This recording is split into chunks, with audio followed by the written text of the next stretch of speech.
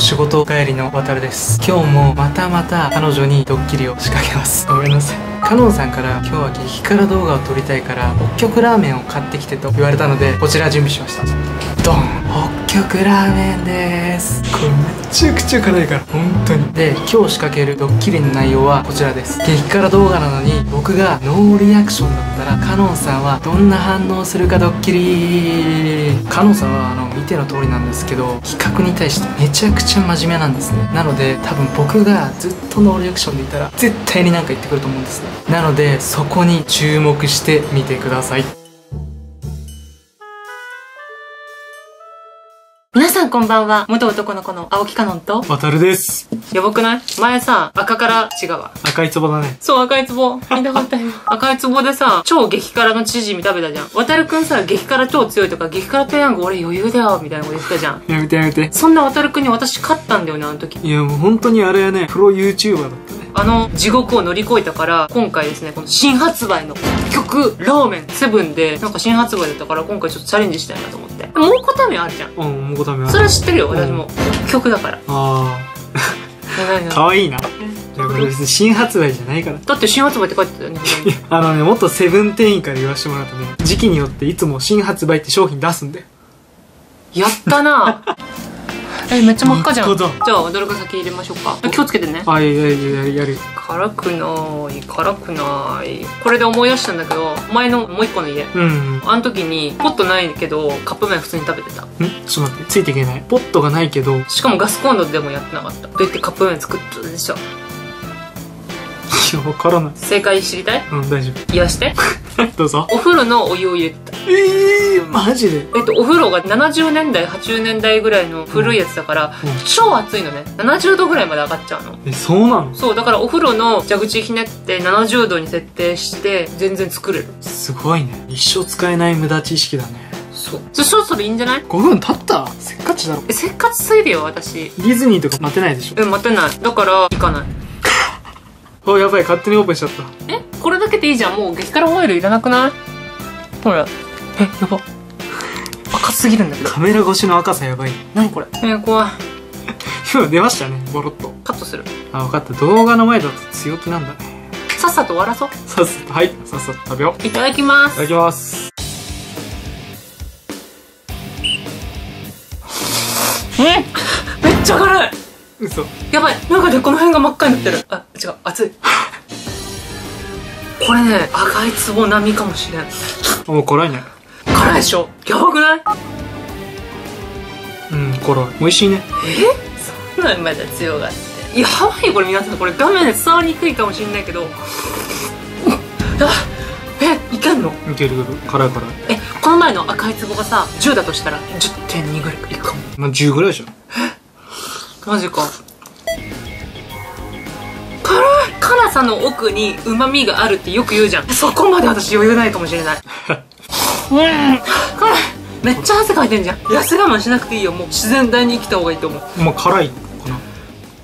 え？い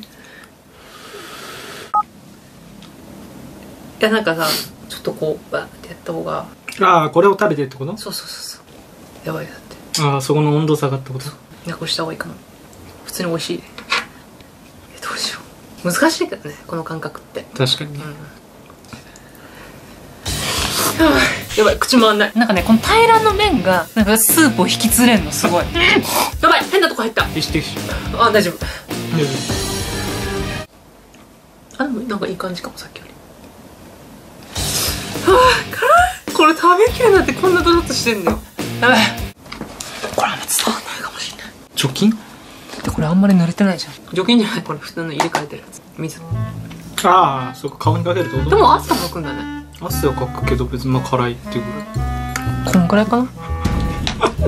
お花じゃねえんだかそうだよね。ライトに反射してんじゃん。これ普通に前らでもメガネやばそっかメガネだけ塗ったらおかしいか。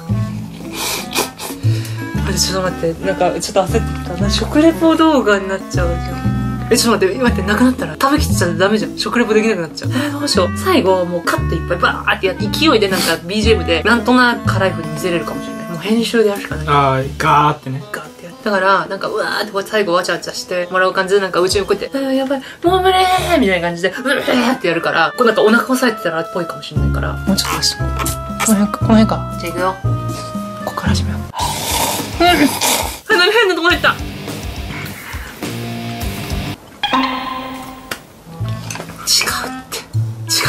え食べちゃったの？美味しいし辛い。美味しいじゃないんだって。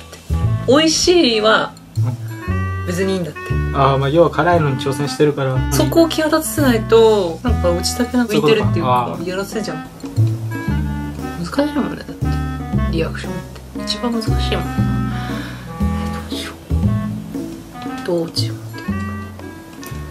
てってれー何がてってれもし激辛動画を食べてノーリアクションだったらどんな反応するかドッキリ。アンドやらせが発覚しました。やらせがねなんと発覚しちゃった。んですそれ映すの？それ映す体でやったの今。いいかなって。えてかやらせじゃないよ。盛り上げるためにやったんだよ。いやちょ盛り上げるためにやったんだよ。やらせじゃないよ。あやらせじゃないの？さっきなんか。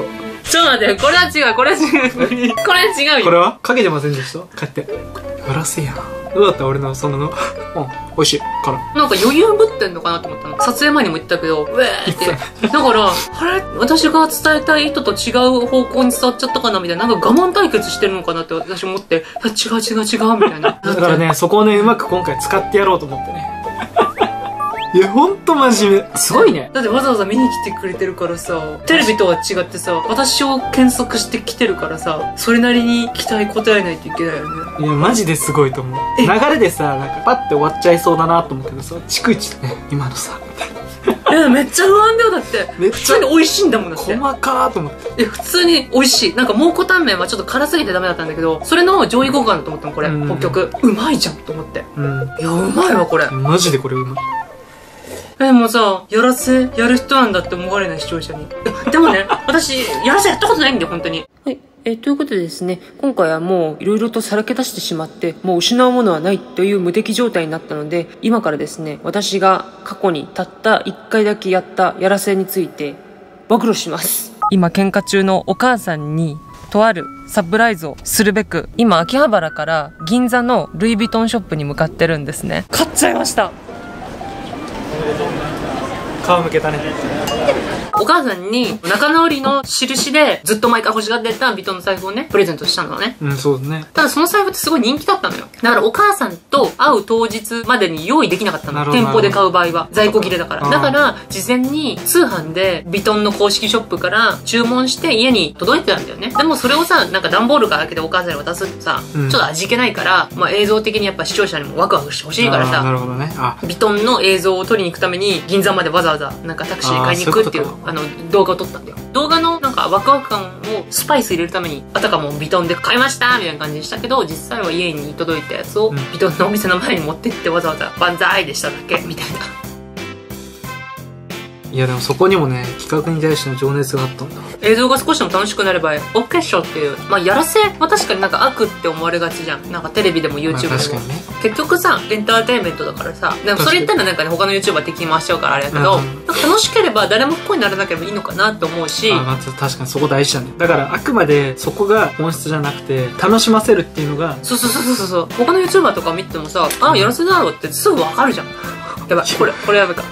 ええやっぱ YouTuber だからわかる。あこれはもうネタ仕込んでるあネタなんだろうなって。わかるけどでも視聴者みんな楽しがってるじゃんグッドボタンもあ確かにね。結局そこなんだよなと思って。楽しませればいいんじゃないのそうだよね。いや本当美味しかったごちそうさまです。美味しかったこれ。最高。本当にお店コロナ落ち着いたら行きたいよ。ね行きましょう。もうやらせしないにします。これからも暴いていこうと思います。今回の動画が少しでも楽しんでいただけた方は、グッドボタン、チャンネル登録、評価お願いします。あと、私のインスタグラムと渡るくんのノートも画面の下にありますので、そちらも画面の下からフォローお願いします。また、次の動画でお会いしましょう。